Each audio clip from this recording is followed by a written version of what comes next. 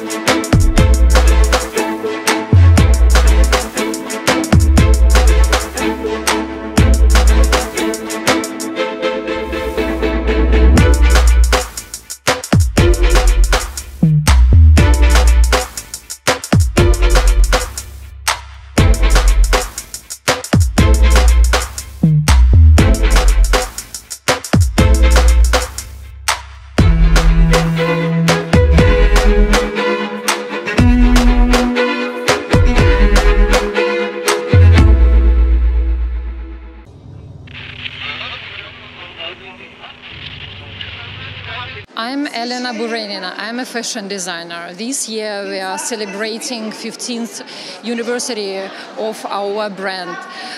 On this occasion, we are opening Ukrainian Fashion Week by our show, fashion show.